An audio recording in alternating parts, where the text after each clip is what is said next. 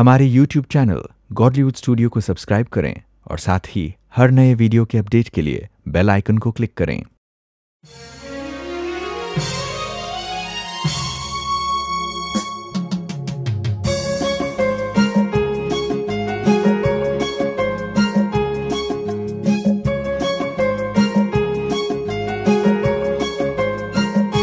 अरे ओ मनवा ઘડીક તો તું કરી લે જાત સાથે વાત જાત સાથે વાત હમ.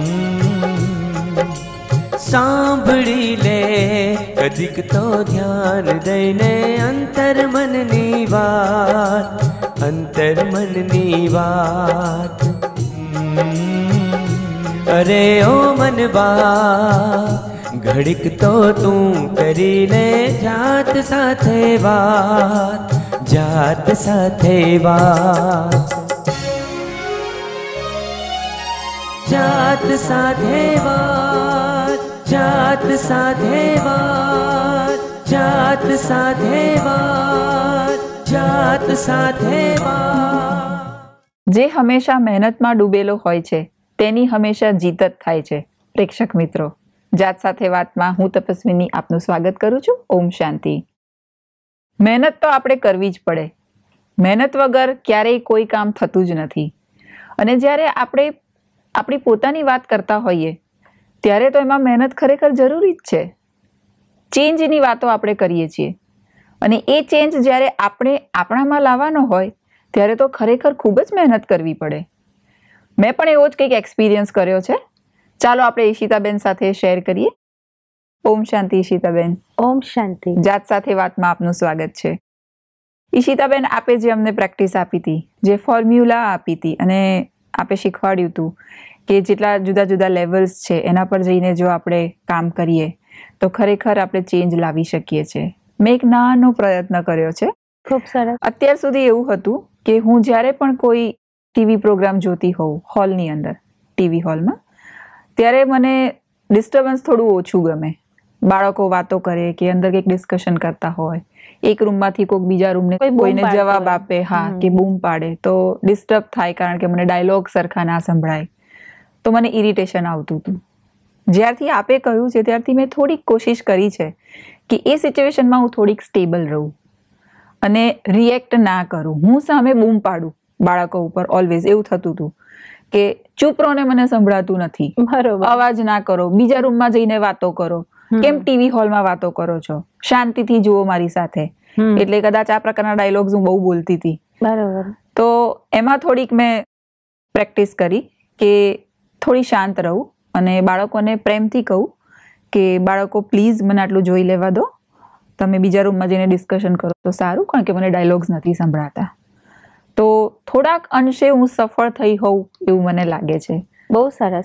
અને એકચ્યુઅલી શું છે કે આ પરિવર્તનમાં જેમ જેમ આપણે સફળ થતા જઈએ ને તો એકચ્યુઅલી સિચ્યુએશન ભલે એની એ રહે કે બાળકો એના એ રહે પણ મારામાં ચેન્જીસ આવવા માંડે છે મારામાં સુધારો આવે છે. અને આ જે સુધારો આવે છે ને એનાથી જ આપણે એક એક્ઝામ્પલ પૂરું પાડીએ છીએ અને એટલે કહેવાય ને કે આ જે વ્યક્તિઓને એક્ઝામ્પલ જોવું છે ધારો કે હું બાળકોને એમ કહેતી હોઉં કે બાળકો તમે શાઉટ ના કરો. પણ હું શાઉટ થઈને કહી રહી છું બાળકોને કે શાઉટ ના કરો. હે ને? તો એની અસર નથી પડવાની બાળકો ઉપર. પણ હું શાંત રહીને કહીશ કે તમે શાઉટ ના કરો તો એ અસર થશે. અને હું આપને જણાવું કે ખરેખર જે દર વખતે હું શાઉટ કરીને બાળકોને કહેતી હતી કે બીજા રૂમમાં જઈને વાત કરો મને ડિસ્ટર્બ થાય છે એના કરતાં જ્યારે મેં શાંતિથી એ લોકોને અપીલ કરી કે ભાઈ પ્લીઝ બાજુના રૂમમાં જઈને વાત કરો ને મને ડિસ્ટર્બ થાય છે. તો બાળકો ખરેખર એમણે સાંભળ્યું અને કે ઓકે મમ્મા પ્લીઝ સોરી અને એ લોકો રૂમમાંથી જતા રહ્યા બહુ બહાર. તો ઇટ રિયલી વર્કડ હા. એટલે આને કહેવાય કે like we are leader by examples see આપણે લીડર એટલે કોઈક પોલિટિકલ લીડર કે સામાજિક લીડરની વાત નથી થતી અહીંયા. પણ જેમ આપણે પહેલા પણ સમજ્યા છે કે આ સંસાર એ સાગર છે. અને એમાં મારું જીવન એ શિપ છે એક જહાજ જેવું છે. અને જેમાં ઘણા બધા પેસેન્જર્સ છે. જે કે મારા રિલેશન્સ કે જે લોકો મારી સાથે સંપર્કમાં આવે છે સંબંધમાં આવે છે એ લોકો બધા મારી સાથે છે. એ શબ્દ શું સૂચવે છે? કે મારે લીડ કરવું છે. એટલે લીડર બની અને લીડ કરવું છે. હમ. કોને? તો કે કે શિપને જીવનરૂપી શિપને. મારે લીડર બની અને લીડ કરવું છે. એક છે કે હું લીડર બની અને લીડ કરું અને એક છે કે મેનેજર બનીને મેનેજ કરું. આ બે કોન્સેપ્ટ છે. હાજી.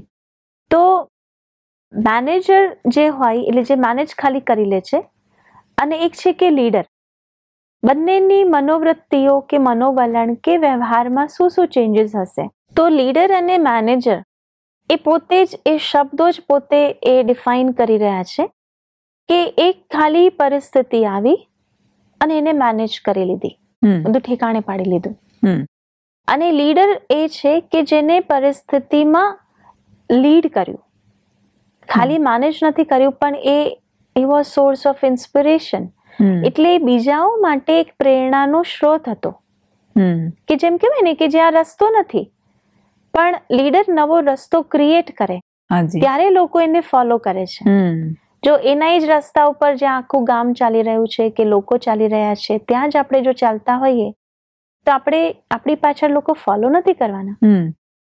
પણ કોઈ પણ સિચ્યુએશન બની કે કોઈ પણ વાત બની એમાં એક નવી વિચારધારા સાથે એક નવો રસ્તો ક્રિએટ કરવો કે ડેવલપ કરવો ત્યારે લોકો એ જોઈને એમાંથી પ્રેરણા લે છે અને એ પ્રમાણે કરવાનું શરૂ કરે છે. તો જેમ કહેવાય ને કે કોઈને ધક્કો મારવો હોય ને તો ક્યાં ઊભા રહેવું પડે? પાછળ.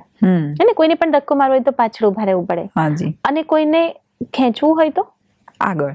આગળ રહેવું પડે. જેમ કહેવાય છે ને કે પડે એવી દેવાશે એટલે એ મેનેજરિયલ બુદ્ધિ છે કે લાઈક પડે ત્યારે જોઈ લઈશું ઠેકાણે પાડી લઈશું લોકોને કામે લગાડી દઈશું. અને લોકોને આપણે પુશ કરીએ કે તું જઈને આ કર તું જઈને આમ કર તારે આમ કરવાનું છે. એટલે સલાહ સૂચનો આપણે આપીએ. વ્યવસ્થાપન કરીએ. હા પણ આપણે પોતે ના કરીને બતાવીએ. હે ને? અને લીડર શું છે? તો કે કે પોતે કરે છે. કરી અને એક્ઝામ્પલ સેટ કરે છે કે જેનાથી લોકોને એનું અનુકરણ કરવું બહુ ઈઝી થઈ જાય છે. કે એ ફૂટસ્ટેપ પર ચાલવું બહુ ઈઝી થઈ જાય છે. તો એ છે કે મારે હવે કર્મોથી મારા. વ્યવહારથી મારે એક્ઝામ્પલ સેટ કરવું છે. અને જેમ કહેવાય ને કે એક્ઝામ્પલ જ્યારે સેટ કરવાની વાત આવે તો અગેન પરિવર્તન છે ને એમાં. હાજી. અને પરિવર્તન ઓલવેઝ પસંદ નથી એકચ્યુઅલી એટલે બની શકે કે લોકો એ વસ્તુને એક્સેપ્ટ ના કરે આજે નહીં કરે ને કાલે કરશે. કારણ કે જ્યાં જ્યાં નવું છે નવીનીકરણ છે કે કંઈક જુદું. એટલે જે લોકો કરી રહ્યા છે એનાથી હટીને કંઈક કરે છે. એટલે ત્યારે થોડો એક્સેપ્ટન્સનો પ્રોબ્લેમ થાય છે. પણ જ્યારે એ સત્યના માર્ગે છે કે સમજી વિચારીને કોઈ વસ્તુ કરી રહ્યો છે તો લોકો ઓટોમેટિક ફોલો કરશે. અને એટલે કે એવું કહેવાય કે આપણામાં જો અમુક મૂલ્યોનો વિકાસ કરેલો હોય આપણે તો આપણે બહુ સહજતાથી ને બહુ સરળતાથી આપણે કોઈ પણ સિચ્યુએશનમાં લીડર બની શકીએ કે આપણે આપણી જીવન નૈયાને લીડ કરી શકીએ. તો સૌથી પહેલો ગુણ કે સૌથી પહેલી વિશેષતા જે મારે જોઈએ છે એ છે કામ સ્ટેટ ઓફ માઇન્ડ એટલે મારી મનઃ સ્થિતિ દરેક સંજોગોમાં દરેક પરિસ્થિતિમાં દરેક વ્યક્તિની સામે શાંત અને સ્થિર. That is calm state of mind હોવી જોઈએ. એના ઉપર હું અટેન્શન રાખું કે વ્યક્તિએ વ્યવહાર ભલે ગમે તે કર્યો મારી ઈચ્છા અનુસાર નથી જ કરવાના એવું તો આપણે પહેલેથી જ સ્વીકારી લીધું છે હવે. હાજી. તો જ્યારે મારી ઈચ્છા અનુસાર નથી કરતા પણ મારું મન કેવું?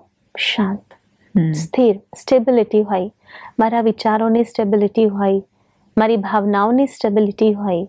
મારા એક્શન્સમાં સ્ટેબિલિટી હોય. જ્યારે આ સ્ટેબિલિટી આવશે ત્યારે ક્લિયર ફોકસ. જે બીજી વિશેષતા ઓટોમેટિક આનાથી આવે છે. અને છે ક્લિયર ફોકસ જેમ આપણે પહેલા પણ વાત કરી છે કે શાંત પાણી હોય તો આપણું પ્રતિબિંબ કેવું દેખાય? ચોખ્ખું દેખાય. બહુ ચોખ્ખું દેખાય.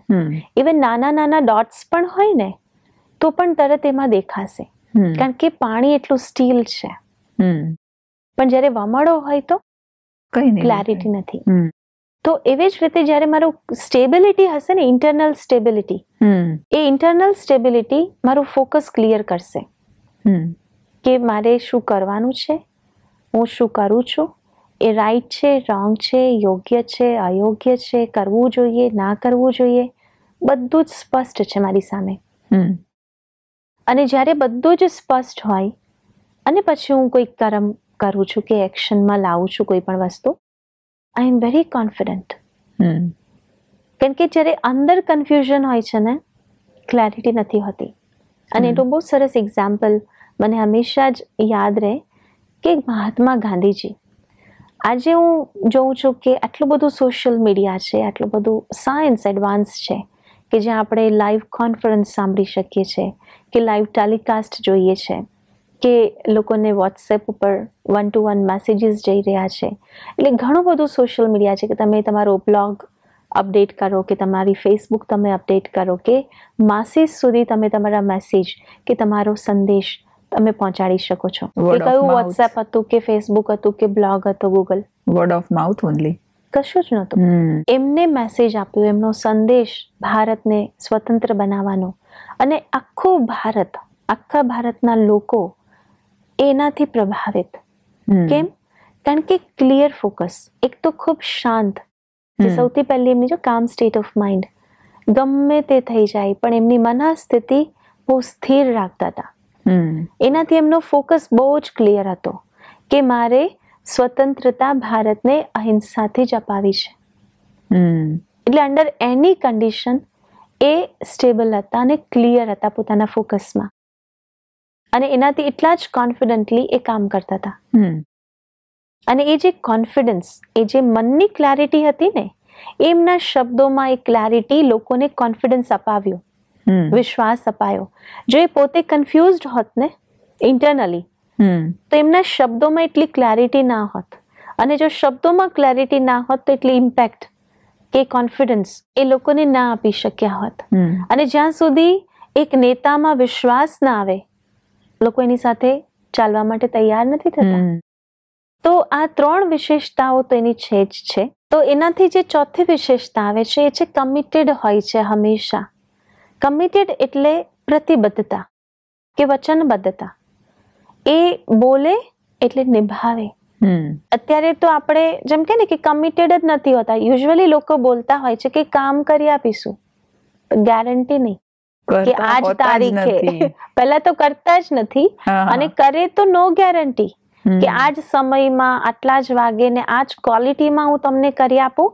નો કમિટમેન્ટ તો આ છે કે જીવનમાં સફળ થવા માટે કે જીવનને પ્રોપર દિશામાં ડિરેક્શનમાં લઈ જવા માટે હું જે પણ ડિસિઝન લઉં છું જે પણ વાણી બોલું છું એના માટે હું કમિટેડ રહું. એટલે આપ જે આ કમિટમેન્ટની વાત કરી રહ્યા છો એના પરથી મને એક એક્ઝામ્પલ યાદ આવે છે કે પહેલાના વખતમાં શોપ્સ ઉપર ક્યારે મેં એવા બોર્ડ્સ નહોતા વાંચ્યા કે અમારે ત્યાં કાપડ કલરની કોઈ ગેરંટી નથી.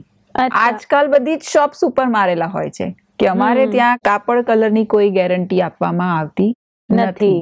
માલ આપ્યા પછી પાછો લેવામાં આવશે નહીં. હાજી તો એટલે એના માટે કમિટેડ નથી કે આ માલ જે પણ તમે લઈ જાઓ છો એ કેવો પણ નીકળી શકે. પહેલાના વખતમાં તો એવું ક્યારેય મેં સાંભળ્યું જ નથી.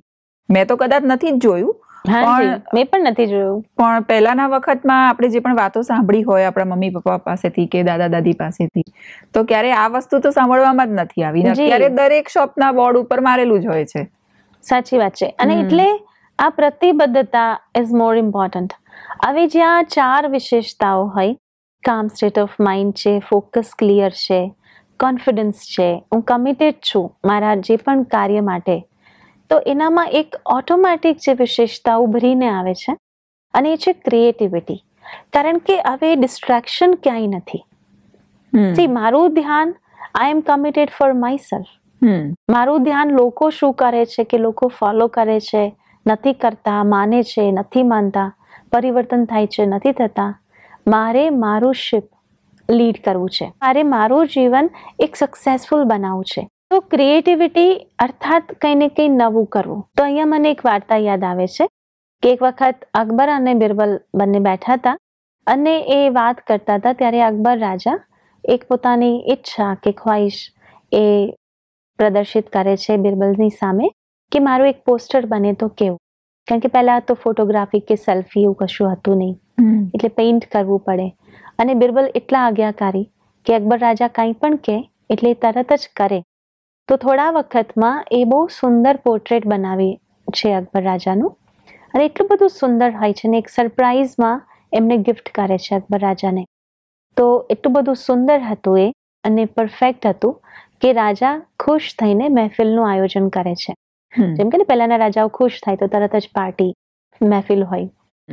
તો હવે એ મહેફિલ બોલાવે છે ને એમના દરબારમાં નવ રત્નો હતા. એમાં એક બિરબલ હતા ને બાકીના આઠ હતા. તો બધાને જ ઇન્વાઇટ કરેલા હોય છે મહેફિલમાં. અને પોસ્ટર પણ મૂક્યું હોય છે. તો હવે રાજા રીઝન કહેતા હતા કે આજની મહેફિલનું કારણ શું?